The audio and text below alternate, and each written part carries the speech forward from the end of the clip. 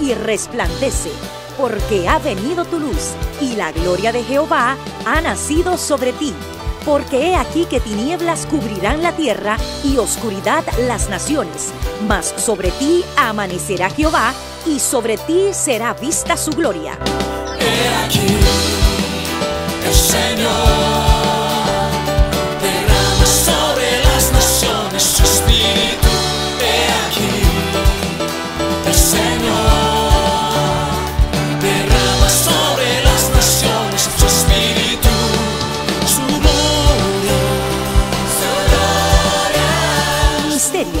Amanecer de la esperanza, presenta su programa Voz de Restauración con el pastor Juan Radamés Fernández. Escucha atentamente la palabra que proviene del mismo corazón del Padre para consolar tu vida.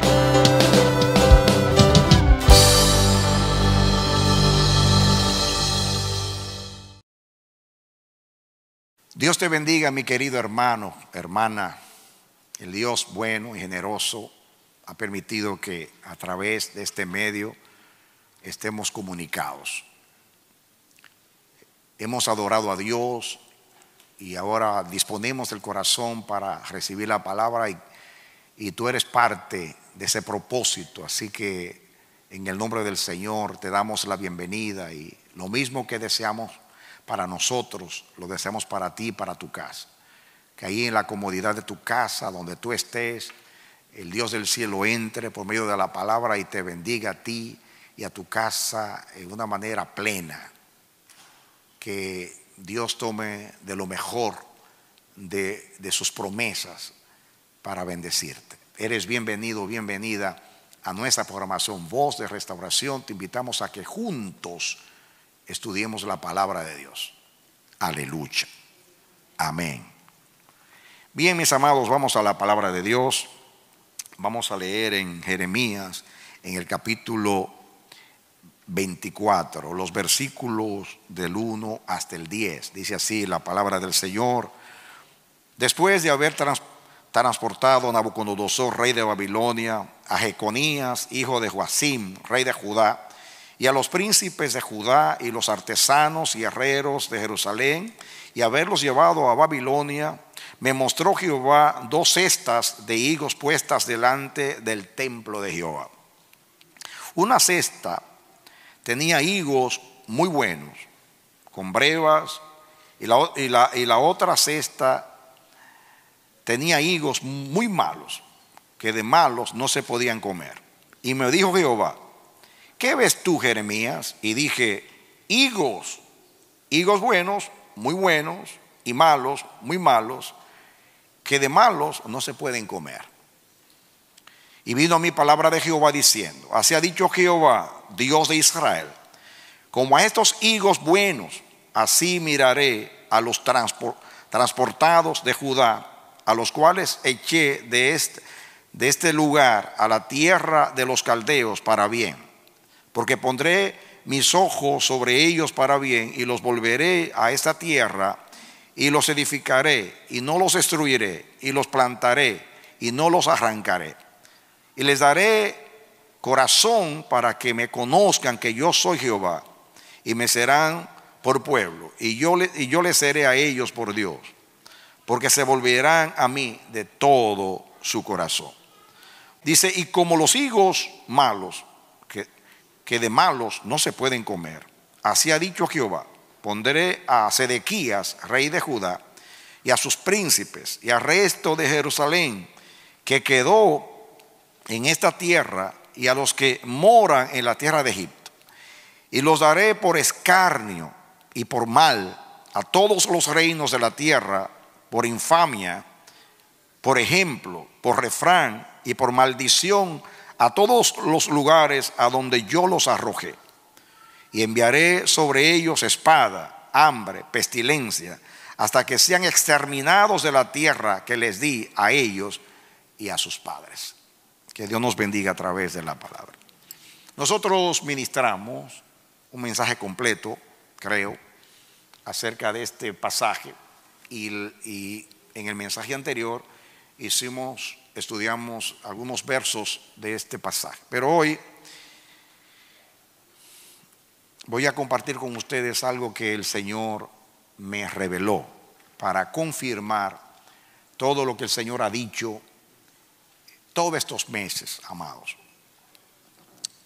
Yo pido a Dios que el Señor nos dé fe para creer. Yo sé que la fe es un don de Dios.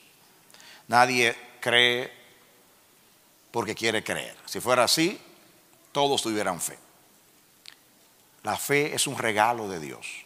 Jesús dijo, reyes y profetas quisieron ver lo que ustedes ven y no lo vieron. Bienaventurados vuestros ojos porque ven, vuestros oídos porque oyen, vuestros corazones porque entienden. Cuando hay rebelión en el corazón, Dios cierra los oídos, cierra los ojos y nubla la mente y neutraliza el corazón. Eso dijo Isaías capítulo 6. Ese pasaje de Isaías 6 lo cita también Jesús en el capítulo 13 de Mateo, cuando él dice que hablaba por parábolas, para que viendo no vean y oyendo no entiendan, y se salvan y se conviertan a mí. Y cita a Isaías capítulo, capítulo 6. Quiere decir, Dios dice, este pueblo tiene el corazón engrosado. Ven con los ojos y no ven, ven con los oídos y no oyen. Y, no pueden entender. Por eso, dice el Señor, yo los he endurecido para que viendo no vean y oyendo no entiendan. Cuando cerramos el corazón para oír a Dios, entonces Dios nos ayuda. Nos ayuda a endurecernos, como pasó con el faraón. Cuando la Biblia dice tantas veces que Dios endureció al faraón, hay algunos que que se resisten a creer lo que la Biblia dice y buscan explicaciones. Pero la Biblia es su propio intérprete. Tratar, muchas veces queremos reconciliar la conducta de Dios con nuestra manera limitada de pensar. Pero Dios está sobre todo pensamiento humano y Dios es soberano. Nadie niega que cuando Dios envió a Moisés y Moisés salvó al faraón. Ya el faraón estaba endurecido. Las primeras palabras del faraón fue, ¿quién es Jehová?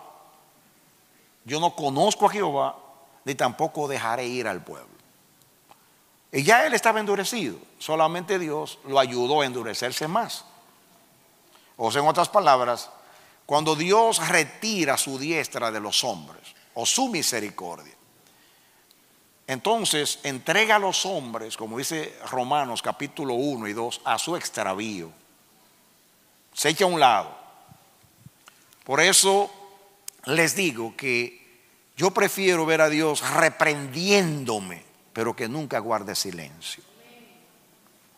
Es bueno que hable, aunque sea reprensiones, exhortaciones, aún juicios, pero que hable, que no se calle que no se eche a un lado. Porque mientras el Señor habla, hay esperanza. Mientras el Señor interviene, hay esperanza. Pero cuando Dios, cansado de la resistencia humana, se echa a un lado, entonces Satanás ocupa el lugar. Y si estamos obstinados, rebeldes, como Dios describe el corazón de Judá, corazón malvado, corazón malo, corazón perverso, corazón incircunciso, corazón engrosado. Entonces, cuando Dios no tiene, mis amados, cuando Dios se retira, entonces Satanás entra y hace de acuerdo a Él. Él vino para matar, hurtar y destruir. Ese es su trabajo. Matar, hurtar y destruir. Dios es bueno, Dios es Padre, Dios es misericordioso. Él sabe que por naturaleza somos rebeldes, que nuestra mente se continúa al mal. Él sabe que estamos dañados. Aún nosotros que queremos agradarle, muchas veces lidiamos y peleamos con debilidades tontas. Reincidimos, regresamos, hacemos lo mismo una y otra vez, pedimos perdón, Él nos perdona. Y Dios me dijo una vez, si yo les pido a ustedes que perdonen a su hermano hasta 70 veces en un día, ¿cuánto más puedo yo perdonarlos a ustedes? Eso, eso me llena de esperanza porque Dios me pide a mí que yo, que yo te perdone a ti 490 veces en un día. Yo dudo que por malo y travieso que tú seas, me va a ofender tantas veces. Pero quizás sea algo hiperbólico, pero Dios me está diciendo que no hay límite para el perdón. Así no hay límite. Y si yo no tengo más capacidad que Dios para perdonar.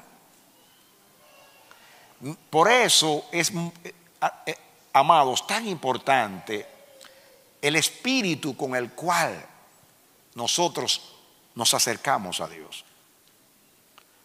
Créanme una cosa, después de caminar con Dios por 50 años, quiero decir que a Dios no le preocupa tanto nuestras debilidades, porque, porque Él sabe que nosotros nacimos en pecado, crecimos en pecado y somos dados al pecado.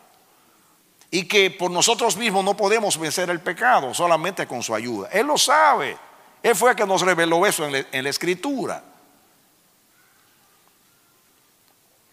Por eso Él trata con nosotros, porque sabe que ya el pecado nos dañó. Por eso envía a su Hijo, por eso envía a su Espíritu, por eso nos dio su palabra. Por eso no se cansa de tocar, de insistir, para, para atraernos a Él. He aprendido algo caminando con Dios. Y eso es lo que revela. Él no quiebra la caña cascada. Él no apaga el pábilo que humea.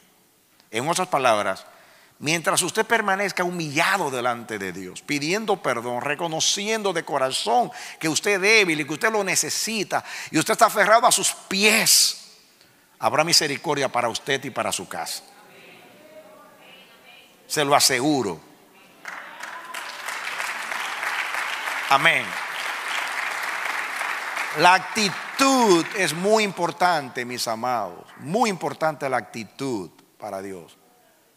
La Biblia lo ilustra con David. David era el hombre más, más, ¿qué diríamos? Más insensato de la Biblia. David cometió errores que, wow, ni un niño los comete así. Mostró que era un hombre muy, muy débil.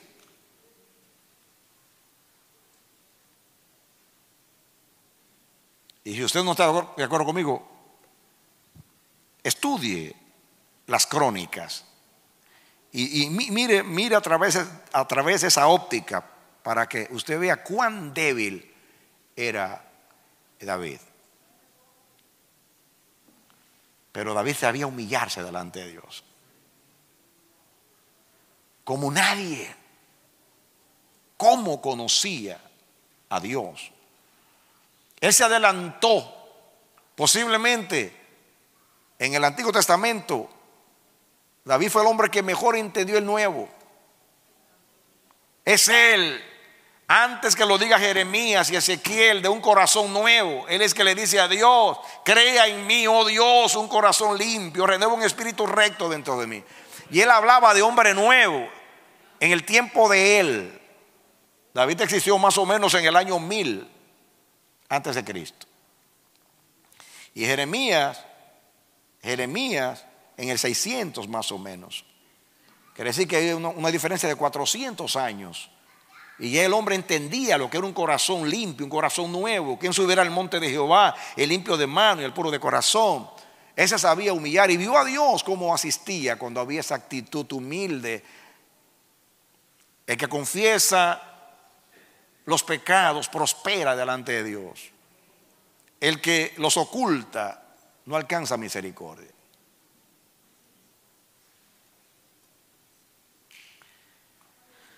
Ustedes conocen las escrituras y en esta casa hemos hablado mucho acerca de eso.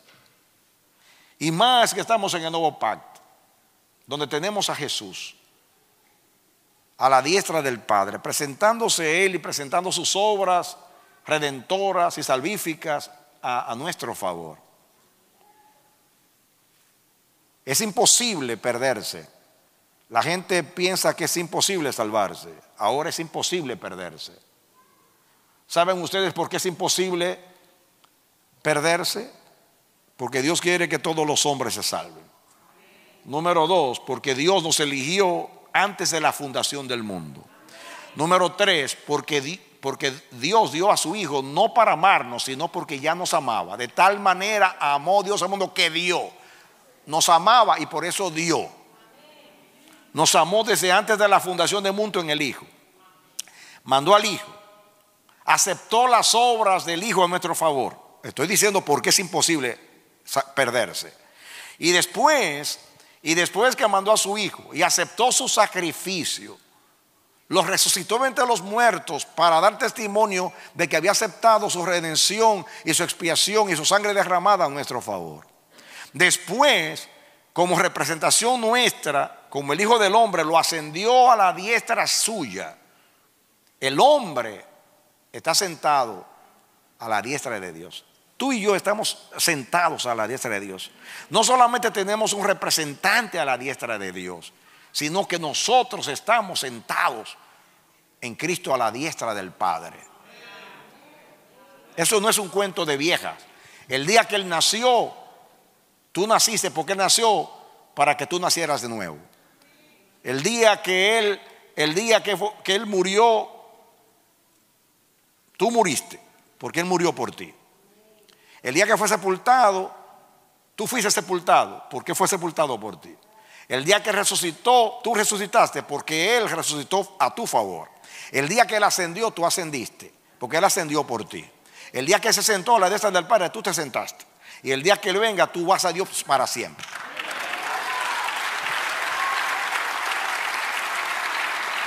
Amén. Eso es lo que enseña la Biblia. Es imposible. Romanos 8 lo dice, es imposible. Nadie nos puede acusar porque Dios, el juez, el que justifica. Cristo es el abogado. Cristo murió, resucitó. Está a la derecha del Padre, intercede por nosotros. Y como, sabía, y como sabía que éramos débiles, nos mandó el Espíritu Santo para que nos convenza de pecado, de justicia y de juicio. Nos dio ministros con dones espirituales, con la palabra, para alimentar a su pueblo hasta que Cristo venga.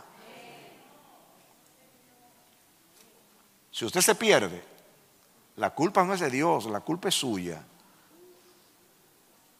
Porque usted está rechazando el don de la gracia. Lo único, la salvación, Dios, óyelo bien, Dios a nadie lo va a condenar por ser pecador. Nadie, nadie irá al infierno porque es pecador. Nadie. Te dirá, pasó, ¿qué está diciendo? Jesús lo dijo. Jesús dijo, esta es la condenación. Que la luz vino al mundo y los hombres amaron más las tinieblas que la luz porque sus obras eran malas. En otras palabras, la condenación es rechazar la oferta gratuita de perdón y salvación en Cristo. Eso es condenación. En otras palabras, Dios a nadie lo va a condenar por ser pecador, sino por rechazar a Cristo. A nadie lo va, lo va a condenar por, por, estar enfermo por el pecado, sino por no querer tomarse la medicina de la salvación. No es por ser pecador, sino por rechazar el regalo de salvación.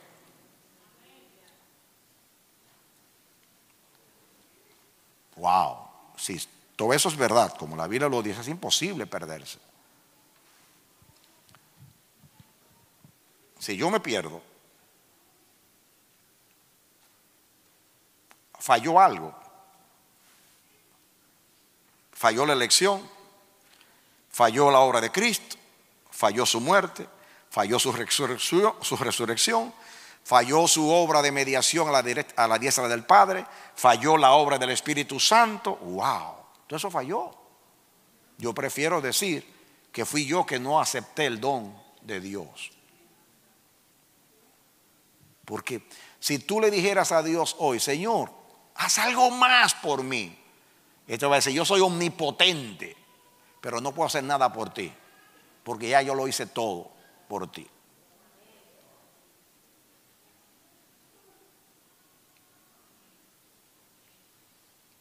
Por eso es que la salvación está segura. Porque Dios no, no va a comenzar algo para no terminarlo.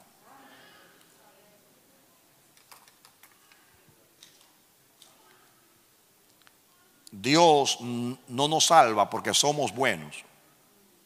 Nos salva porque Cristo fue bueno. Dios no nos condena porque somos pecadores. Nos condena porque no, hemos, no, queremos, no queremos aceptar el don de salvación. No somos salvos por- por nuestra santidad, sino por la de Cristo. ¿De acuerdo? Ahora, aquí hay una visión que el Señor dio al profeta Jeremías.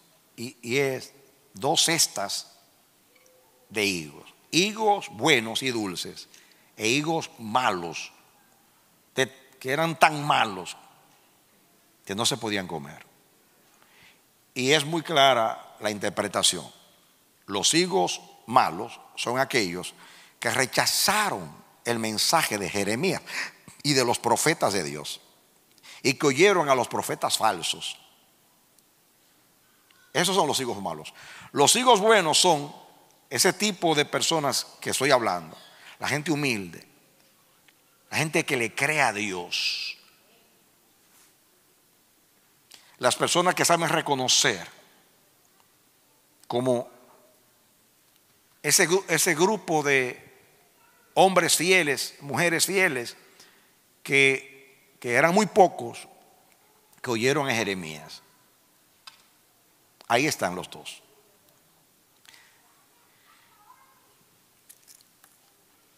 Dios tiene más de un año ministrándonos a nosotros y usando esta ilustración bíblica. Yo quiero decir que, amados, los mensajes proféticos que el Señor nos da no son doctrinales, son ilustraciones. Todo lo que Dios ha enseñado de la dispersión no, no es una doctrina. No pretendo que eso sea algo doctrinal. ¿Entiende lo que es doctrinal? Eso no es como creer que en la Trinidad, que son tres, o que Cristo murió. Esa no es. Es una ilustración bíblica, un lenguaje de Dios para interpretarnos la experiencia de una plaga que estamos viviendo, para que nosotros podamos guiarnos por su forma de conducta con su pueblo en el pasado, para que veamos en su manera de proceder en el pasado, como dice el Nuevo Testamento, lo que antes fue escrito para nuestra enseñanza lo fue, y poder ver cu- cuál es la, la conducta, ha sido la conducta de Dios en estos casos. Entonces Dios lo está aplicando espiritualmente a nosotros. Eso no significa que no es verdad. Que no sea doctrinal no significa que no sea verdad. Es una manera de Dios explicarnos espiritualmente lo que está sucediendo. Ahora, ¿cómo yo estoy seguro que esto que estamos hablando por cerca de un año es verdad? Primeramente porque en el caso de nosotros, Dios nos habló por cuatro años que venía una crisis mundial, que iba a haber una, iba a haber un 911, una emergencia. Y dijo más. Dios dijo, ustedes han visto los videos, yo le pedí a la hermana Esmirna, están ahí, que lo pusiera en orden a su tiempo. Un día lo vamos a poner para que ustedes vean con fechas lo que Dios dijo. Y en el lenguaje profético, ungido, que el Señor nos dijo que venía una crisis y que iba a postrar a los reyes de la tierra. Dijo que los iba a turbar. Y nunca yo he visto, nunca he visto a los reyes de la tierra tan turbados. Y aún a la ciencia médica tan turbada como en este caso. Y todavía hay turbación. O sea, la manera extraordinaria que el Señor ha cumplido eso. Y ustedes saben que Dios insistía, hermanos, viene una crisis, pero grande. Entonces, si lo primero se cumplió con tanta precisión, inclu- inclusive más allá de mi, de- de- de mi visión, yo no pensaba que iba a ser tan difícil la situación y tan duradera. Y después, sin proponérmelo, el Señor nos lleva a este mensaje de la dispersión, mirando la conducta de Dios. Yo quiero hablarte con honestidad. Yo no preparo mensajes. Los mensajes me preparan a mí. Yo me crié en un seminario, me enseñaron cómo predicar, el arte de la predicación, me enseñaron homilética, yo enseñé homilética, pero mi homilética, desde que yo entré a la vida del Espíritu, es diferente. Yo recibo un mensaje de Dios para la gente de Dios, por medio de la palabra de Dios. Yo soy un hombre de Dios y como, como hombre de Dios quiero comunicar ese mensaje de acuerdo al corazón de Dios. Esa es mi homilética, ese es mi arte de predicar. Comunicar el mensaje de Dios. Siempre le digo a Dios que purifique mi corazón para que nada mío entre, ni aún, ni aún mi indignación profética, ni aún mi celo profético. Le pido a Dios que, que filtre para que solamente brote su espíritu. Nunca, cuando digo que no preparo mensajes, que yo no voy a la Biblia, ah, ¿qué predico hoy? ¿Qué, qué, qué necesitará la iglesia hoy? Porque a, a, a mí me enseñaron a predicar así. Me enseñaron que si yo quería ser un predicador interesante, que buscara temas de la actualidad que importaran a la gente. Por eso hay ciertos predicadores que cautivan a la gente, porque les hablan de cosas que ellos quieren escuchar. Pero el mensaje mío como profeta no es un mensaje que la gente necesariamente quiere escuchar, sino que un mensaje que Dios quiere comunicar.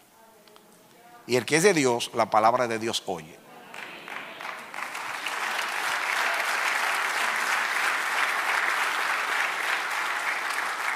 Entonces, créanme, mis amados, que no fui a la Biblia a buscar, ah, ¿qué está pasando? A ver, Señor, eh, esto, eh, revelan. No, no, no, no, no. Ni siquiera pedí revelación de nada. Yo simplemente, el Señor me iluminó. Mira, saqué a las iglesias del mundo, no a ustedes solamente, del mundo entero, de los templos. Eso nunca había acontecido, amado. La iglesia era perseguida en los, en los siglos pasados y se escondían los cristianos, pero en otros lugares no había, no había persecución y adoraban. Pero esto fue masivo, general, mundial. Y como tengo una visión profética, digo, Señor, esto, eso no es una casualidad. Y Dios me dijo, eso fue lo que aconteció en el pasado. Yo saqué a Israel de, su tierra, lo, lo, lo, desarraigué y a Judá también. Y vieron ustedes que estudiamos por toda la Biblia que esa es la conducta de Dios. Es que indiscutiblemente, indiscutiblemente, aunque las naciones, aunque las naciones sean castigadas con lo que pasó y hayan sufrido, Sé que Dios tiene un propósito con las naciones, pero lo más importante que Dios quiere lograr es con la iglesia. Me preocupa la iglesia más que las naciones.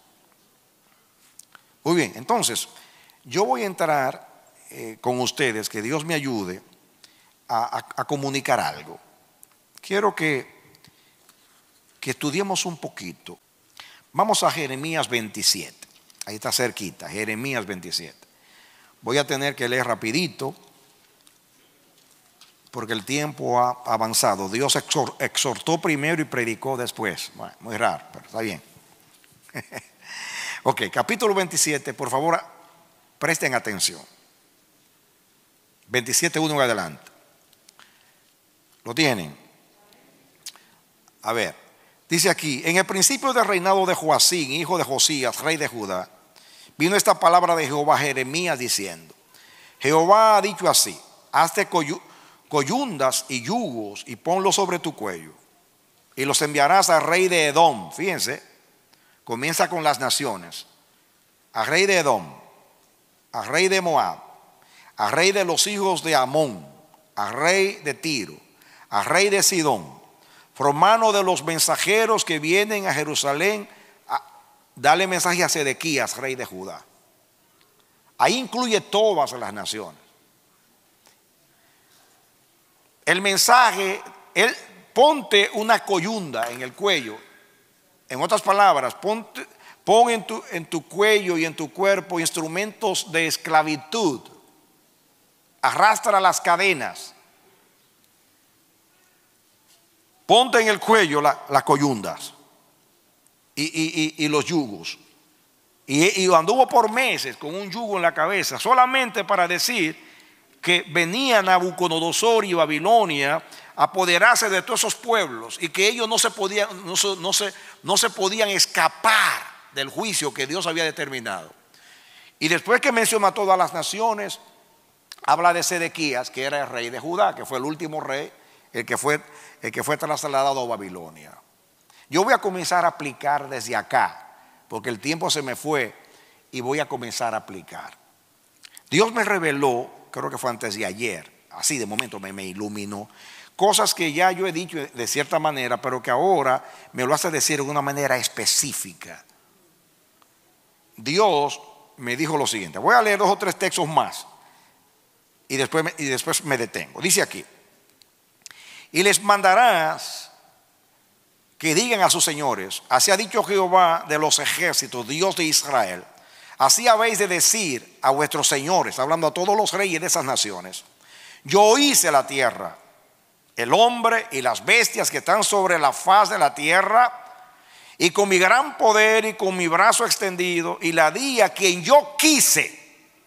Y ahora yo he puesto todas estas tierras en mano de Nabucodonosor, rey de Babilonia, mi siervo. Y aún a las bestias del campo le he dado para que, para que le sirvan. Y todas las naciones le servirán a él, a su hijo y al hijo de su hijo, hasta que venga también el tiempo de su misma tierra y la reduzcan a servidumbre muchas naciones y grandes reyes. Me paro ahí. Y te voy a aplicar de una vez lo que Dios me ha dicho. Dios me dijo, yo te hice predicar acerca de la dispersión de Babilonia y todas esas cosas por muchos meses. Ahora, y tú, tú has aplicado la palabra, pero ahora háblale al pueblo de una manera muy específica. Y Dios me dijo a mí, escuchen bien ahora, la aplicación a nosotros hoy. Ya les dije que no es una doctrina, es una aplicación espiritual profética para entender la conducta de Dios con nosotros en este tiempo. ¿De acuerdo? Muy bien. Así que no sea dogmático. Escuche, Dios me dijo, Babilonia representa la dispersión. ¿Por qué Babilonia representa la dispersión? Yo lo prediqué. Te enviaré lejos, a tierra lejana, a Babilonia. Babilonia es la dispersión. ¿Por qué? Porque Dios saca a su pueblo, en este caso de Palestina, y lo, lleva, y lo traslada a Babilonia. En el caso, ahora viene la aplicación a nosotros. Atención, Dios me dijo a mí, Dios me dijo a mí, que Babilonia es la dispersión. Tomó a las iglesias del mundo y las sacó de sus lugares de adoración. Y Dios dijo que dispersión no es tanto geográfica, que es porque el corazón se apartó de Dios. Dios estaba desagradado, como pasó en el pasado con Judá y con, y con Efraín. Está desagradado con la iglesia por muchas cosas que cada lugar es aplicable de diferente manera y cada uno individualmente puede juzgar. Dios sacó a su pueblo y Babilonia es el lugar de la dispersión, representa la dispersión. Nabucodonosor es un tipo, mis amados, del COVID-19. Estoy no, estoy en serio, esto no es un relajo. Así me lo dio Jehová.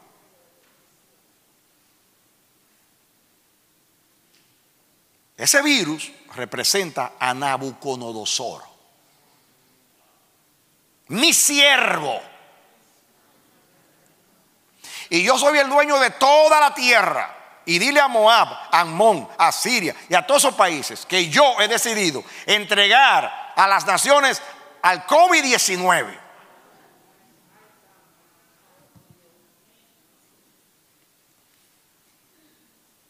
Ya eso se cumplió.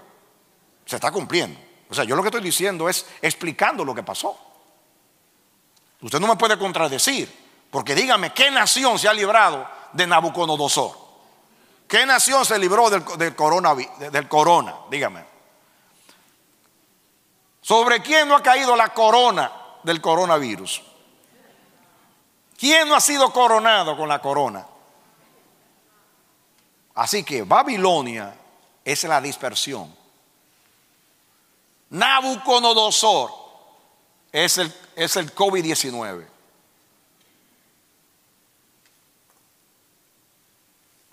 Seguimos leyendo.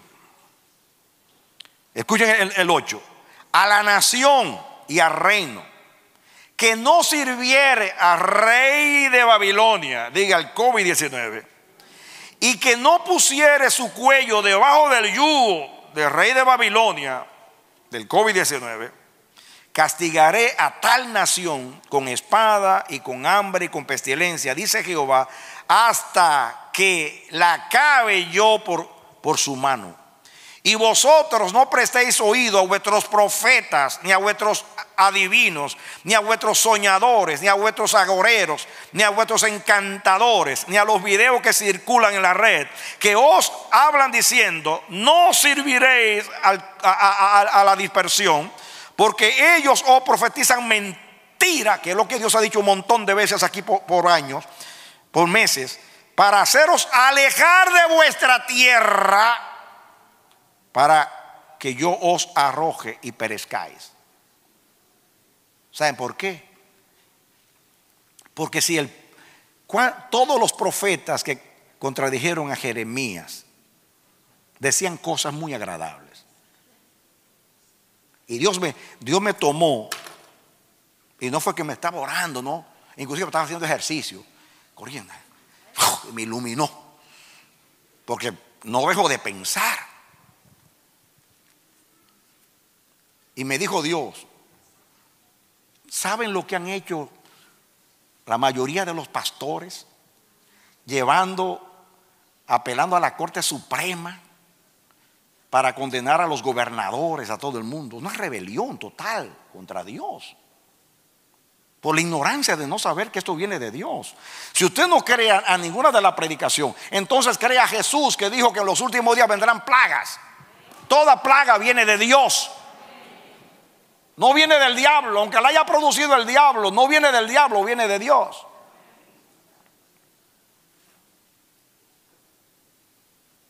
¿Cuál ha sido la predicación? Que no se, que no se sometan al COVID, que no se sometan, que no se sometan a los científicos, que no se sometan a nada. Entonces, mientras millones de personas están muriendo, ellos están publicando tonterías por el internet. Perdonen que hable claro, porque hoy vengo con la voz profética porque Dios me habló. Ahora no se trata de interpretación mía. Dice, habla con autoridad. El que quiera creer, que crea. El que no crea, que se abstenga a las consecuencias. Y si Dios no actúa, no ha hablado por mí. Saben que la iglesia ha sido el instrumento más desorientador. Y me da pena que muchos hermanos de aquí, que son sin, sin- son sin, sin- no están exonerados de culpa porque tienen una orientación profética y se unieron a los ignorantes que no conocen a Dios, que no saben nada, porque tienen un criterio personal. Déjame decirte una cosa. Juan Radamés Fernández viene de una denominación donde se le hace culto a la salud natural. Yo desde que me convertí a los 16 años en esa iglesia, hago ejercicio, cuido mi salud. Yo duré, yo duré 17 años sin comerme un huevo, porque en ese tiempo se decía que hacía daño por el colesterol. Yo era un muchacho y me cuidaba del huevo. Ustedes escucharon los sermones míos pasados, donde hablaba de la del negocio de los fármacos. ¿Se acuerdan ustedes? Y de que te- te- dan una medicina para una cosa y te daña, y te daña el hígado y te daña otra. Ustedes me, ustedes me escucharon hablar de eso. Yo no he cambiado mi forma de pensar. Yo sé que las compañías, las compañías farmacéuticas tienen un negocio bien lucrativo. Y tengo evidencias de que no, no les importa la gente, les importa su dinero.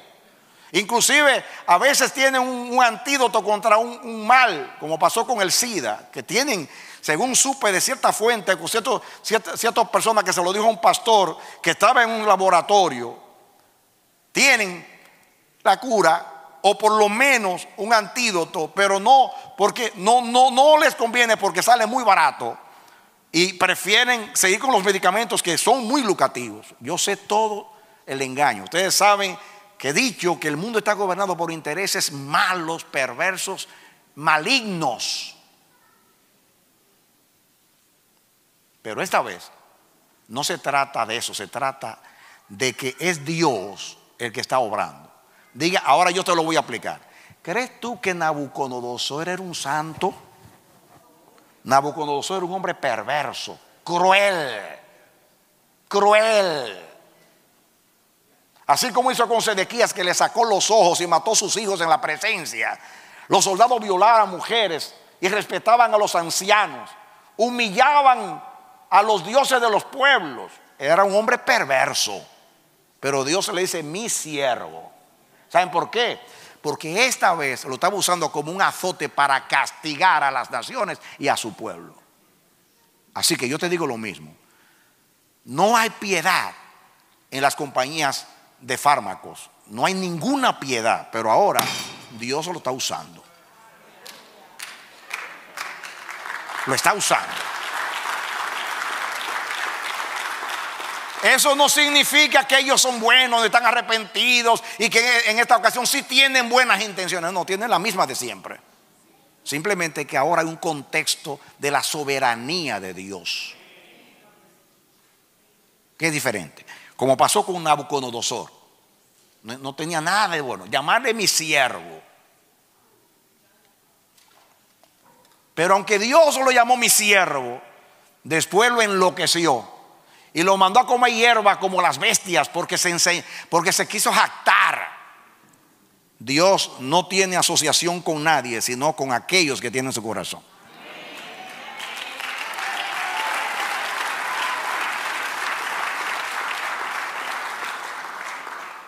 Me estoy comunicando, amados. Yo estoy aquí defendiendo a Dios, no defendiendo al diablo ni a nadie, es a Dios. Mi voz profética es llevarlos a Dios. Cuando yo hablé mal de un político, es porque Dios me reveló y ustedes vieron que se cumplió todo lo que salió por mi boca. Yo no estoy en contra de nadie, yo estoy a favor de Dios. Yo oro por todos los que gobiernan, no me importa el partido que sea. No hay bondad en ningún partido ni en ninguna política. Se lo digo como su pastor. Y eso, esa comisión la tengo a los 16 años, cuando ya andaba por ahí con la cabeza caliente, que con el marxismo y el comunismo, que Dios me abrió los ojos a los 16 años, me dijo, todo eso es un engaño. Y vienen los países comunistas que todo es un engaño. No hay bondad en la política. Y el que da su simpatía y su corazón a políticos, tarde o temprano, es más, se está apartando de la verdad. Porque usted sabe que todos los políticos son mentirosos, no importa el partido que sea. Y no tienen ninguna buena intención, ni son amigos de la iglesia. Es una mentira. A la iglesia la usan para que la iglesia facilite los votos, para ellos llegar al poder. Después se burlan de la iglesia a escondidas. Tengo evidencia de eso. No seamos tontos.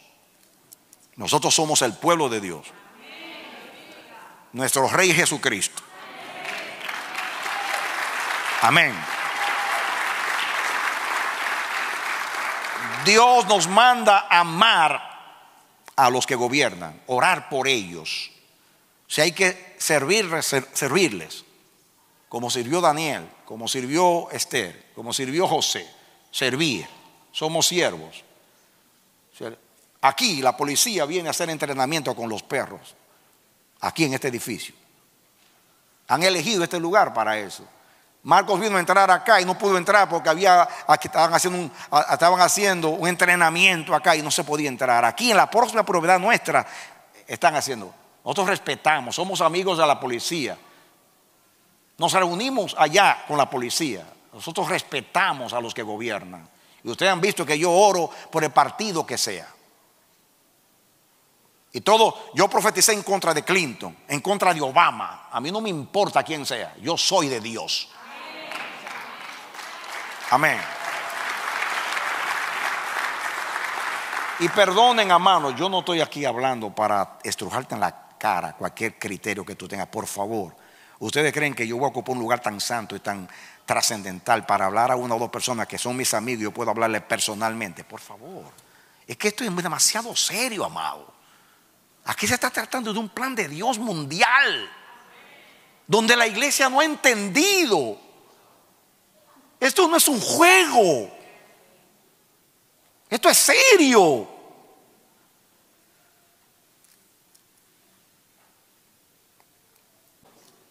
Dice el 11, más a la nación que, se que, que sometiere su cuello al yugo del rey de Babilonia, al corona, y le sirviere,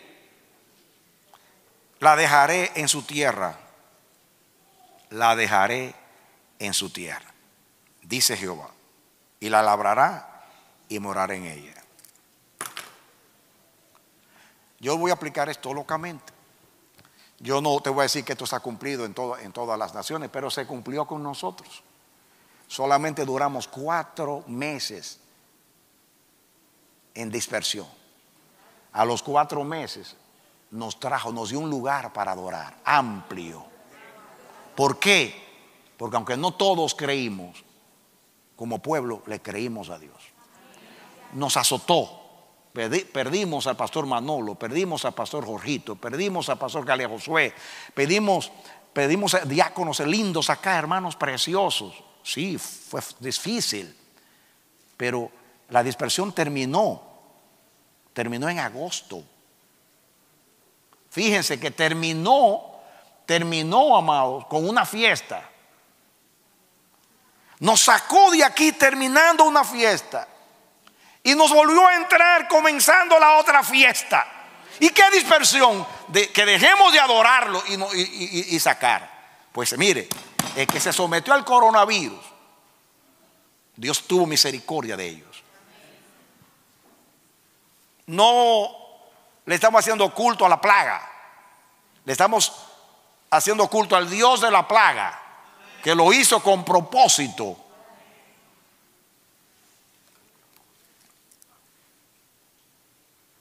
Ahora, y dice el 12, hablé también a Sedequías, rey de Judá, conforme a todas estas cosas, diciendo, someted vuestros cuellos al yugo del rey de Babilonia y servid a él y a su pueblo, y vivid, vivid. ¿Por qué moriréis tú y tu pueblo a espada, de, de hambre, de pestilencia, según ha dicho Jehová de la nación que no sirviere al rey de Babilonia, o sea, el coronavirus? No, no digáis las palabras de que los profetas que os hablan diciendo, no serviréis al rey de Babilonia, porque os profetizan mentira. No que es una conspiración, no que fue la China, no que fue tal cosa, no que es una esclavitud, no que pones un bozar en la, en la boca, no. Y cuántas tonterías. Y la gente muriendo y muriendo y muriendo. Insensible se llama eso, insensibilidad. Negando la verdad en la cara. La gente enfermándose. Hubieran ido a un hospital que no, no, no hay cupo en algunos lugares. No, la gente incubada, muriéndose. Y usted con unas tonterías. No solamente contradiciendo a Dios, mirando las cosas con sus propios ojos. Ah, porque a usted no le pasó nada. Es fácil. Usted sobrevivió. Ah, porque yo me cuido. Porque yo tal cosa. No, porque Dios tuvo misericordia de usted.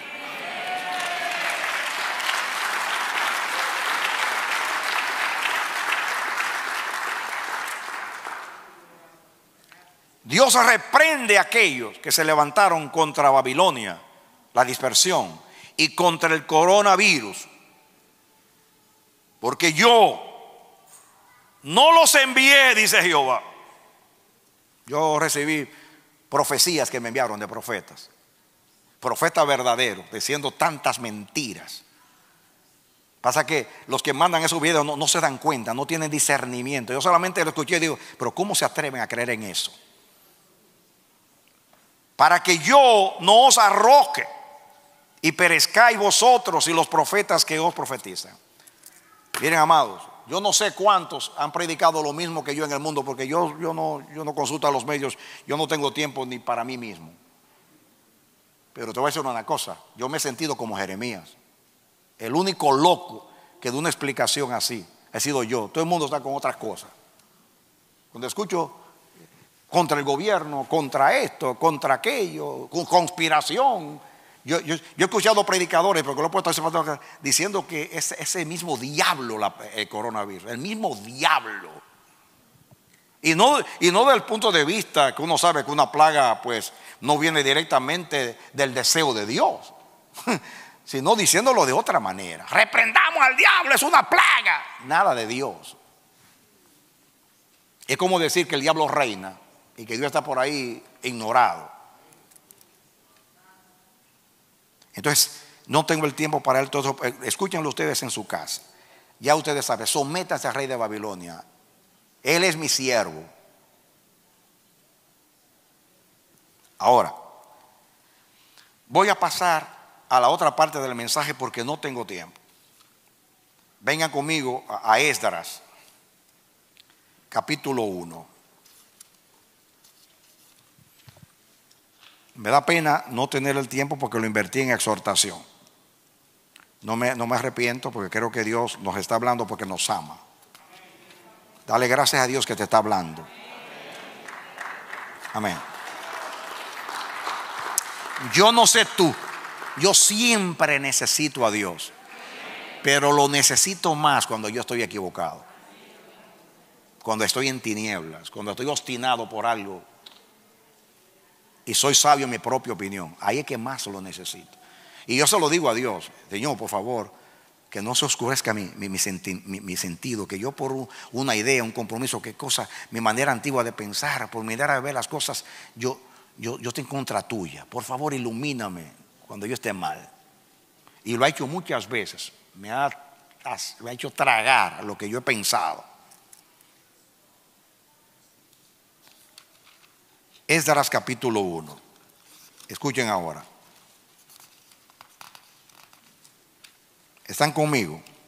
Dice aquí, en el primer año de Ciro, rey de Persia, para que se cumpliese la palabra de Jehová por boca de Jeremías, despertó Jehová el espíritu de Ciro, rey de Persia, el cual hizo pregonar de palabra y también por escrito por todo su reino diciendo, así ha dicho, así ha Ciro, rey de Persia, Jehová el Dios de los cielos, me ha dado los reinos de la tierra y me ha mandado que le edifique casa en Jerusalén, que está en Judá. Quien haya entre vosotros de su pueblo, sea Dios con él, suba a Jerusalén, que está, que está en Judá, y edifica la casa de Jehová, Dios de Israel. Él es el Dios, la cual está en Jerusalén. Y a todo el que haya quedado, en cualquier lugar donde more, ayúdenle los hombres de su lugar con plata, oro, bienes, ganados, además de ofrendas voluntarias para la casa de Dios, la cual está en Jerusalén. Entonces se levantaron los jefes de las casas paternas de Judá y de Benjamín, y los sacerdotes y levitas y todos aquellos cuyo espíritu despertó Dios para subir a edificar la casa de Jehová, la cual está en Jerusalén. Y todos los que estaban en sus alrededores les ayudaron con plata y oro, con bienes y ganado, con cosas preciosas, además de todo lo que se ofreció voluntariamente. Y el rey Ciro sacó los utensilios de la casa de Jehová que Nabucodonosor había sacado. Ahí, ahí, ahí, ahí. Ahora, Ciro sacó los utensilios, o sea, los vasos sagrados, que representan a, a los que fueron a la dispersión. Una tengo un mensaje de eso en el pasado. Que Nabucodonosor había sacado de Jerusalén. Otras palabras, Nabucodonosor saca, Ciro entra. Con Nabucodonosor comienza la dispersión, con Ciro termina la dispersión. Y lo sacó pues Ciro, rey de Persia, por mano de Mitrídates, tesorero, el cual los dio por cuenta a Sesbazar, príncipe de Judá, y contaron ahí todos los vasos sagrados. Pero no solamente salieron los vasos sagrados, salieron todos aquellos que creyeron al decreto. Ustedes conocen lo que Dios habló de Ciro. Dios habló de Ciro, yo no quiero dejar ir este contexto. Ciro da un decreto en nombre de Dios, porque Dios despertó su espíritu para que todos los judíos regresaran. Pero yo quiero decirte que Ciro no solamente lo hizo con, con Judá, de hecho, primeramente lo hizo Ciro con Babilonia. Acuérdense que Ciro era rey de los medos y de los persas. Y Babilonia, Babilonia, pues era el imperio que dominaba el mundo y Ciro es el instrumento de Dios para castigar a Babilonia y para libertar a su pueblo, pero no solamente, no solamente a su pueblo. Yo posiblemente no voy a terminar hoy, porque no quiero solamente decir palabras, quiero que ustedes vean. Ciro, mis amados, en, en su cilindro, que es, que es una, una inscripción cilíndrica de arcilla que apareció, él se considera un iluminado del dios Marduk. Miren lo que dice Ciro.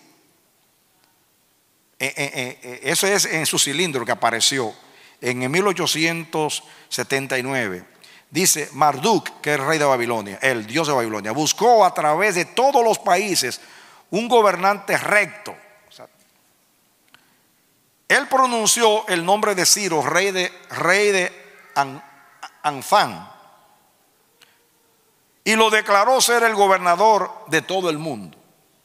En otras palabras, ese que era un predestinado por Marduk, dios de Babilonia.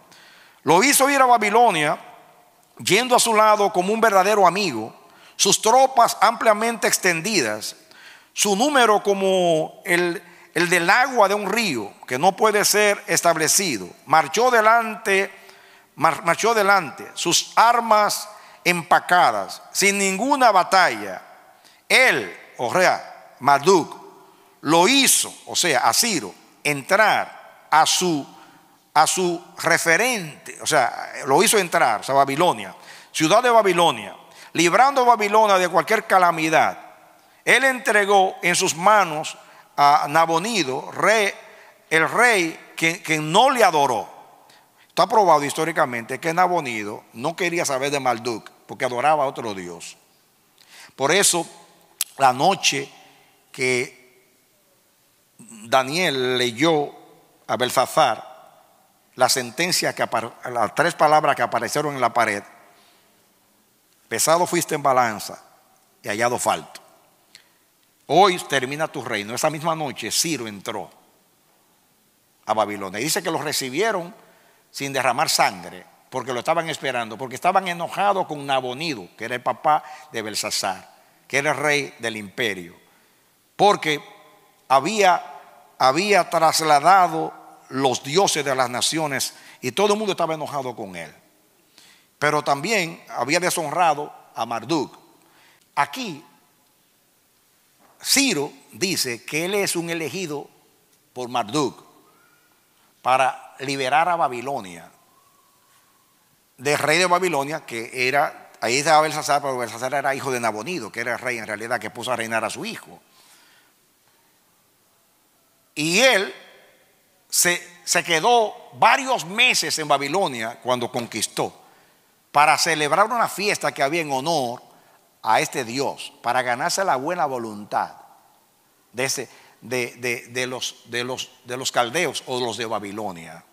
Y dio decreto, Ciro, para que terminar con una política que habían comenzado los asirios. Ellos fueron los que se llevaron Teglafalazar o Teglapileser III, adoptó la política de, trasladar a los pueblos. Él fue que trasladó a las doce tribus. Después de él vino, vino Nabucodonosor, o sea, vino el, el imperio de los caldeos, de, los babilonios, y trasladaban a los pueblos de un lugar al otro. Y, y Ciro, para ganarse la buena voluntad de todo el mundo, cambió esa política. Y dio decreto, ¿no? Que, que los dioses volvieran a sus templos, porque Nabonido los había sacado. Vuelvan a los templos. No solamente estaba en el caso de, de- de- de- Israel, de Judá, sino Babilonia estaba pasando por lo mismo. Y, ahí menciona en el cilindro todas las regiones de la Mesopotamia, donde, donde él manda que regresen los dioses a los templos. Así que lo vieron como un Mesías. Cien años después, los historiadores griegos tienen una mística que así como no no no no, así como Moisés, que es un niño predestinado para liberar al pueblo y Jesús que nace de María para salvar al mundo. Y así se dijo de Ciro, que era un niño que había nacido para liberar al mundo, así lo veían como un libertador. Y fue porque por la política de trasladar a los pueblos de los asirios y los babilonios. Y en el caso de Nabonido, también, y- y lo que hizo Nabucodonosor, que trasladó los vasos sagrados también a Babilonia. Y que la misma noche lo estaba prostituyendo Belsasar, y eso fue juicio de Babilonia esa misma noche. Ahora, escuchen esto. Para yo aplicar esto acá, yo tengo que ir a un pasaje que ustedes conocen de Isaías en el capítulo en el capítulo 44 de Isaías. Vamos a leer rapidito acá, mis amados. Isaías 44. Miren esto. Lo mismo que lo mismo que dijo Ci- Ciro, que era un elegido de Marduk. Eso mismo dijo Dios acerca de Ciro. Isaías 44. Lo único es que Isaías escribió 150 años antes de Ciro nacer. Y lo llama por su nombre. Miren aquí. El versículo 24. 40 cuare- Isaías 44, 24. Lo tiene. Así ha dicho Jehová, tu redentor. Le está hablando a Ciro. Que te formó desde el vientre. Yo Jehová, que lo hago todo. Que extiendo solo los cielos. Que extiendo la tierra por, por mí mismo. Sigan. Que deshago las señales de los adivinos y enloquezco a los agoreros. Que hago volver atrás a los sabios y desvanezco su sabiduría. Yo, el que despierta la palabra de, su siervo, que cumple el consejo de sus mensajeros, que dice a Jerusalén, serás habitada. Y está hablando antes de que, que se fuera a la cautividad. Todavía no se había ido, eran 150 años antes. Y a las ciudades de Judá, reconstruidas serán y sus ruinas reedificaré. Que dice a las profundidades, secaos y a tus ríos haré se- secar, que fue lo que hizo Ciro, que abrió el río para entrar a Babilonia. Que dice a Ciro, y lo llama por su nombre, 50 años antes de nacer. Es mi pastor. Miren cómo, cómo llama a Ciro, mi pastor. Cumplirá todo lo que yo quiero.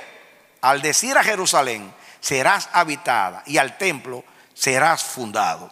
Ahora, el 45.1 dice aquí, así ha dicho Jehová, has ungido a Ciro. Le llama, le llama Mesías. Es al único hombre que Dios le llama Mesías lo- Los, reyes de Israel eran Mesías porque eran ungidos, pero en cuanto a, a un pagano, así ha dicho Jehová a su ungido, a Ciro, al cual tomé yo por su mano derecha para su- sujetar naciones delante de él y desatar lomos de reyes. Fíjense que fue un libertador, para abrir delante de él puertas y las puertas no, no se cerrarán.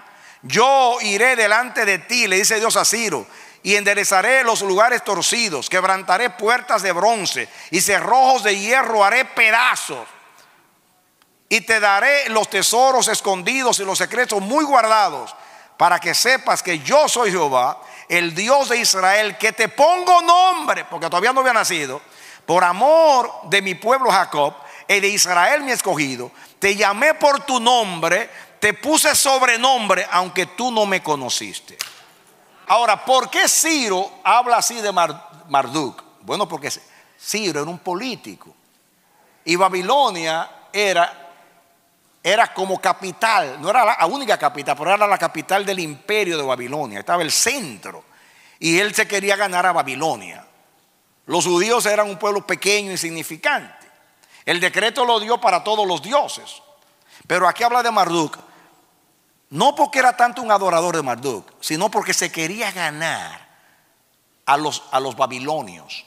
Ahora yo te voy a aplicar todo esto.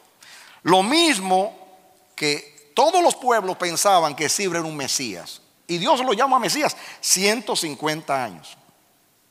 En su tiempo todos los pueblos lo veían, los veían, lo veían como un libertador. ¿Por qué? Porque les regresó- los regresó a sus tierras y regresó los dioses a sus templos. En el caso de, Judá,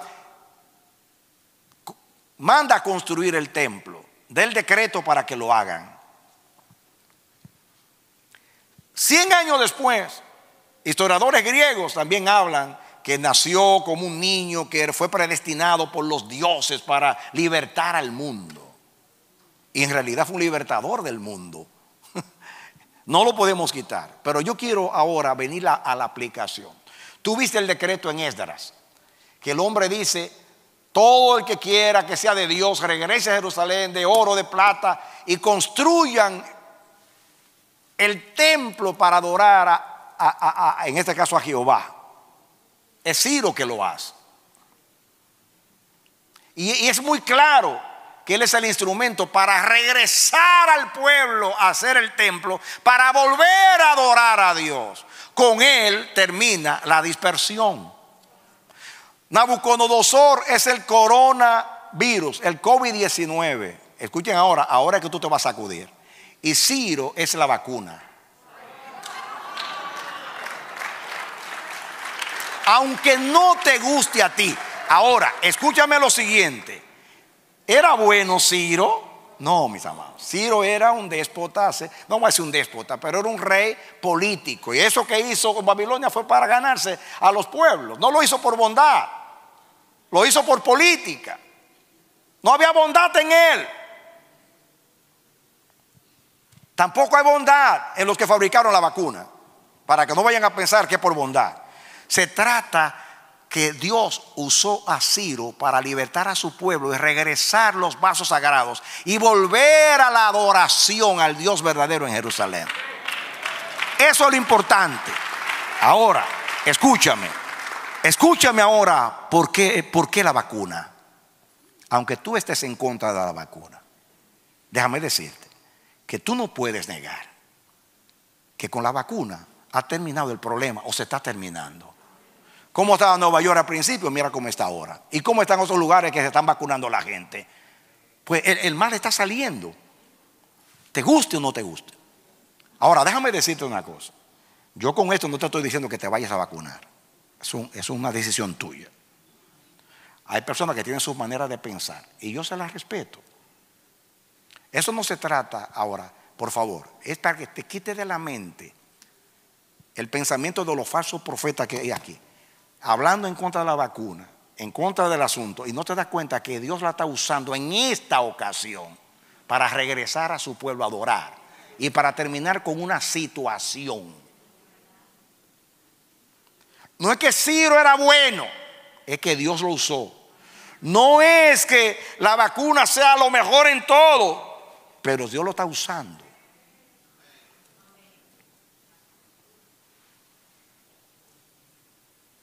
Todos sabemos. Y Dios me lo dijo en medio de la pandemia. Me dijo, dile a mi pueblo que cuide su sistema inmunológico. Que la mejor manera de cuidarse, de cuidarse de- del virus es cuidando, cuidando su, sistema inmunológico. Es lo mejor. Es lo mejor. Pero escúchenme, hay personas que se han cuidado muy bien, muy bien se han cuidado y se han muerto. Y no son tres ni cuatro, son miles de personas que hacen ejercicio, tienen buena dieta, fortalecen el sistema inmunológico y lo han matado del virus de una vez. En otras palabras, el que, el que cuida su sistema inmunológico se muere de virus. Y el que, y el que se vacuna también se puede morir con el virus. Igual, igual, igual. Porque no es, ni, no es ni, ni- una cosa ni la otra la que salva. Jehová es el que salva.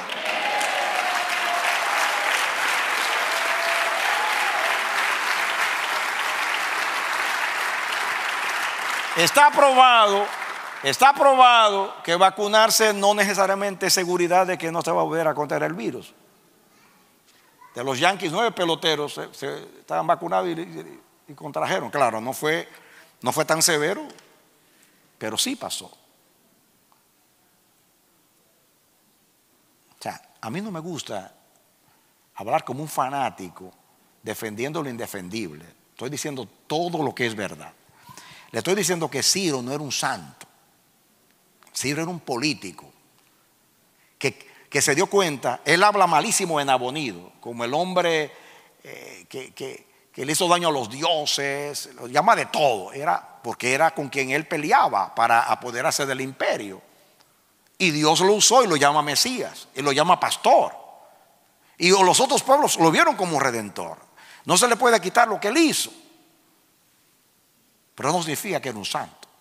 Yo no estoy diciendo que la vacuna no tiene problemas, ni, ni- ni las, ni las compañías de fármacos. Estoy diciendo que es un instrumento de Dios en esta ocasión para aliviar el dolor humano y para acabar con un problema.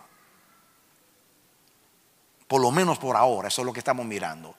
Si mañana el Señor ve la dureza de corazón de su pueblo y quiere mandar la peste negra o la otra, no venga a decir que fui falso profeta, porque estoy diciendo que el problema es que el corazón se vuelva a Dios, que haya arrepentimiento. Si Dios quiere tener misericordia y aún no habiendo arrepentimiento, tener misericordia, amén. Pero si Dios quiere que haya arrepentimiento y cambio de corazón para él poder hacer lo que él quiere hacer.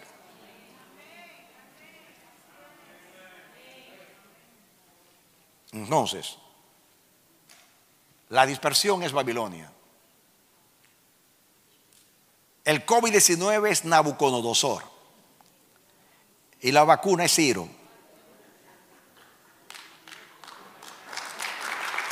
Así te lo aplico. Si todo sigue como va, vamos a, qui- a quitarnos la máscara. Gracias, aunque tú no te quieras vacunar, gracias a que hay más de 50 por 70 que se han vacunado. Y por ellos, el mal, los hospitales están vacíos. Como dijo el siervo, estamos a cero, a menos de 1%. ¿Cómo tú puedes negar eso, hermano? ¿Cómo tú vas a decir que la vacuna no hace nada? Por favor. Unos meses atrás el mundo se estaba acabando. No somos fanáticos, amados. Yo no me he vacunado. No me he vacunado. Yo no soy, yo soy enemigo de medicinas, yo soy natural. Pero cuando Dios me forzó a usar, eh, eh, mi médico me decía, tú eres hipertenso, mira tu familia, tienes que tomar a los 55 años más o menos, tienes que tomar pastillas para, para, para la alta presión. Y yo decía, no, a mí se me sube la presión solamente cuando me de ti. Y era verdad, solamente ahí se me subía la presión. Y él decía que yo era, tú eres el peor de mis pacientes. Y yo le decía, yo, yo soy uno de los mejores tuyos, porque yo me cuido, hago ejercicio, tengo buena dieta, así que yo no soy peor. Él me decía, ¿sabes cómo me decía? Yo me tomo mi pastilla contra el colesterol para poder comer lo que quiero. Así me lo dijo mi médico de cabecera. Ahora lo puse en los pies, lo cambié. No porque sea malo, era un buen médico. Pero el, el- asunto es, mis amados, ustedes tienen aquí a alguien que se crió pensando así.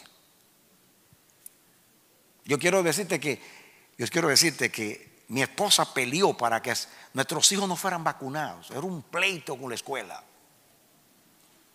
Ese, ese son la gente que, el que te está hablando a ti hoy. Pero esta vez, esta vez, Dios va a usar a Ciro. Y esta vacuna es Ciro. No es bueno, no es lo mejor, es un bandido, pero es el instrumento de Dios. ¿Y miren para qué? Para restaurar el culto. ¿Por qué? Porque ahora la gente va a poder venir otra vez a adorar a Dios. Como hizo Ciro, volvieron, volvieron los vasos al templo. Y más adelante, si Dios nos lo permite, hablaremos de, la restauración, que lo primero que se restauró fue el altar. Estamos adorando a Dios. Esto no es una doctrina, es una tipología, es una manera de interpretar. Y, créanme, delante de Dios, no lo inventé. Yo dije, oh Dios, cuando Dios me lo dijo. Y yo dije, yo voy a tener problemas con muchos cuando diga esto. Dice Dios, olvídate de lo que digan. así decían los falsos profetas cuando decían, ¿cómo se atreve este a decir que se sometan a, ese desgraciado de Nabucodonosor? ¿Cómo se atreve a decir que, ese desgraciado va a destruir un templo donde Dios puso su nombre, sus ojos y su corazón? Jamás. Porque querían escuchar cosas agradables. ¿Saben ustedes por qué los judíos rechazaron a Cristo? Porque Él no llenó, Él no llenó su expectación. Lo esperaba un libertador del yugo romano y vino un carpintero, humilde, que se dejó crucificar.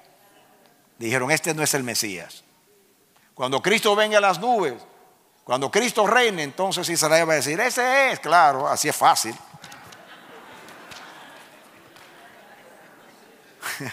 Mirarán al que, al, que que, traspasaron, dice Zacarías. Pero esta vez lo van a ver con, con otros ojos. Dale gracias a Dios que tú viste primero a Cristo crucificado para después mirar a Cristo resucitado.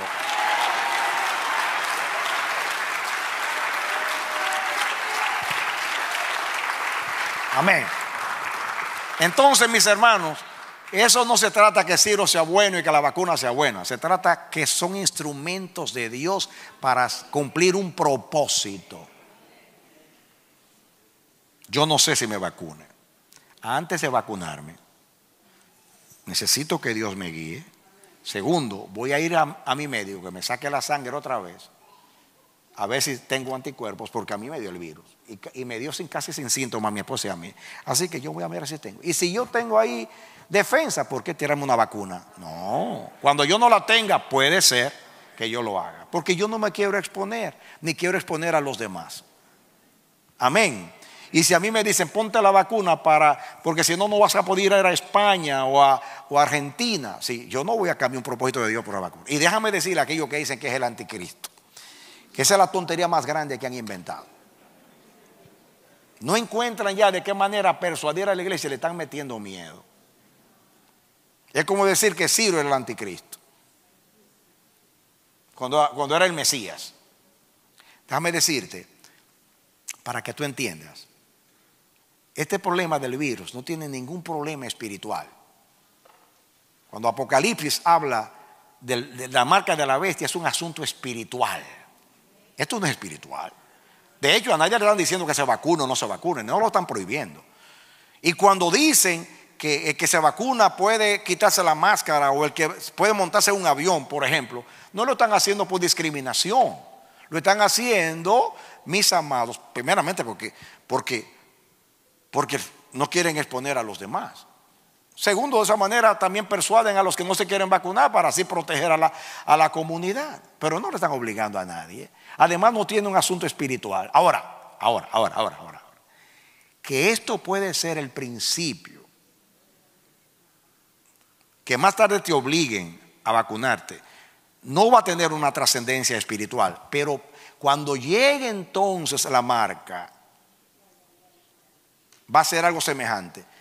Presionado el mundo, porque nadie se va a poner una marca por el gusto. Tampoco te van a decir que no puedes comprar ni vender si no te pones esa marca arbitrariamente. No, para la gente ponérsela en los países democráticos va, a ser como pasó con el terrorismo. Miren cómo cambiaron las leyes en Estados Unidos, le quitaron el derecho a la gente con el asunto del terrorismo, por, hablar de la seguridad nacional. Eso sí, pueden tomarlo como un pretexto. Y esto puede ser el principio, puede ser un ensayo, pero no porque lo tienen en la mente. Pero ahora mismo, en este momento, no tiene nada que ver con lo espiritual. Todo lo contrario. Si tiene algo de espiritual, es la explicación que Dios ha dado aquí por un año. ¿Saben por qué? Porque lo dijo cuatro años antes que iba a ocurrir. Eso es garantía de que todo lo que estoy hablando es palabra de Dios y es verdad. Amén. Así que, miren, ¿saben lo que la iglesia? Mira, la iglesia comenzó a decir cuando en los 60, 70 por allá hubo la guerra con el petróleo que subió, dijeron que, era, que ahí iba a comenzar la marca de la bestia con el, con el petróleo. Después comenzaron a decir que, que, que Reagan era el, anticristo porque su nombre daba 666. Después, después dijeron que era Saddam Hussein. Después, ustedes no saben los libros, miren, hay que coger esos libros y quemarlos todos. ¿Saben ustedes por qué ustedes no me ven a mí hablando del anticristo? Porque Dios me mandó a hablar de Cristo. ¿Saben ustedes por qué no, no me ven hablando del fin del mundo de Apocalipsis? Porque, no voy a decir por qué, porque tengo temor de Dios. No, nunca voy a decirle a ustedes una interpretación bíblica que yo no tengo una seguridad del cielo. Porque en esas interpretaciones se cuelan muchas cosas que no se pueden demostrar con la Biblia. Y yo temo a Dios. Tengo que estar seguro antes de decir que, que eso es verdad. No quiero desorientar al pueblo. Por ahora, yo tengo una escatología. Escatología quiere decir los últimos acontecimientos. Yo tengo una escatología. Y es que Cristo viene y me voy con Él. Eso es. Nada más. Ahora, si Dios me revela el Apocalipsis y me dice cosas verdaderas que yo pueda demostrar con la Biblia, aunque sea una posición que ya alguien Dios se lo haya revelado, me voy a inclinar. Pero mientras tanto, yo observo y me callo. Porque cuando Dios habla mucho de algo, yo hablo mucho de eso. Si Dios habla poco de eso, hablo poco. Y si Dios se calla acerca de eso, yo también me callo porque soy vocero de Dios. No soy mi vocero, ni vocero de nadie. Pero lo mismo que digo de mí, lo digo de ti. Tú eres mensajero de Dios. Tú eres mensajera de Dios. No digas lo que Dios no te ha dicho. Antes de tú publicar una cosa en el internet, examina a ver si es así. Porque hay muchas cosas. Yo he mandado cosas que están eh, por el internet, pocas, porque yo no me dedico a eso. Pero he visto cosas y les he mandado. Después me he dado cuenta que era, algo preparado. O sea, algo bonito, no está hablando cosas de controversiales, sino cosas que parecen muy bonitas porque las arreglan y en realidad era mentira. Yo mandé esta semana algo muy, bonito de alguien que estaba diciendo que encontró una planta que aparece en las manos y, yo se la mandé. Gloria a Dios que no, me escribieron que no, se le abrió el, video, porque Marcos revisó y vio que fue un artista que lo preparó ya. Y yo no dije nada, yo solamente dije, miren este video y juzguen por ustedes mismos. Pues no me quería comprometer. Y gloria a Dios que era falso, porque así no puede decir que el pastor me mandó un video que era falso. Pues mira, mira esto, juzguen ustedes. Así pongo siempre, juzguen ustedes. En otra palabra, ponle discernimiento a eso. Pero yo poner mi, así ha dicho Jehová, con cualquier cosa. Ay, bendito sea. Yo quiero decirte que vas a escuchar muchos profetas que piensan como tú. Y tú vas a decir, wow, piensan como yo. Y tú lo vas a publicar pensando que es verdad porque piensan como tú. Cuidado. Tú tienes que mandar algo si el que lo mandó piensa como Dios. Oremos. Padre bendito, Dios eterno. Gracias por hablarnos. Hoy nos hablaste claramente. Nos ilustraste. Son cosas que le estamos mirando. En realidad esto no, simplemente porque tú lo dijiste, pero está claro lo que está sucediendo, se está cumpliendo. En realidad no hay nada, es una ilustración profética que la estamos mirando. Ayúdanos a unirnos a los falsos profetas, a los conspiradores, a los rebeldes que contradicen la palabra de Dios y que están desorientando al pueblo. Señor, en Estados Unidos, en Europa, que se está aplicando a las vacunas, los hospitales las cosas han mejorado, pero nuestros países están abarrotados, la gente muriéndose, porque las vacunas no han llegado. ¿Cómo no podemos ver que hay una realidad? Ahora que las vacunas tengan efecto en el futuro, eso nadie lo sabe. Pero que tiene un efecto en el presente, eso lo estamos mirando. Ayúdanos, Señor. Pero yo creo en, en esta ocasión, porque hay un asunto espiritual, así como usaste a Babilonia, a Nabucodonosor, y en último caso a Ciro, a uno para mal, para castigo, y el otro para restauración. Así lo estamos mirando, Dios. Tú quieres regresar a los pastores y a las iglesias que vengan a adorar.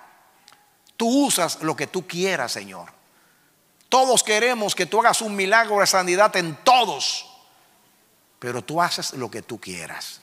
Nosotros vamos a acatar tu voluntad, sea cual sea. Es agradable y es perfecto. Perdóname a mí y perdona a este pueblo y perdona a todo aquel que se haya prestado a confusión. Y ayúdanos, Señor, a ver las cosas como tú las ves. Ayúdanos a no dar el corazón ni a, ni a, ningún político, ni a ningún científico, ni a ningún filósofo, ni a ningún pensador, ni a ningún artista, ni deportista, a nadie que no, que, no seas tú, Señor. Ayúdanos, Señor, Padre. Es tiempo ya de que levantemos la cabeza. Cuídanos, Señor Dios. Cuídanos y ten misericordia de nosotros. Restaura, Dios. Perdona, Dios. Trae a la iglesia de nuevo a adorar, pero esta vez que la iglesia venga diferente, Dios. Logra tu propósito con esta plaga, si no hemos sufrido en vano. Por favor, ten misericordia. En el nombre de Jesús. En el nombre de Jesús. Mi hermano, mi hermana, yo te bendigo a ti, a tu casa. Y ruego al Dios del cielo que te abra los ojos del entendimiento, los oídos y te dé un corazón entendido. Y sobre todo un corazón nuevo, un corazón que sepa reconocerlo y humillarse delante de Él. La gracia del Señor Jesucristo, el amor de Dios y la compañía del Espíritu sea contigo y con los tuyos. En el nombre de Jesús. Aleluya. Amén. Denle un aplauso al Señor.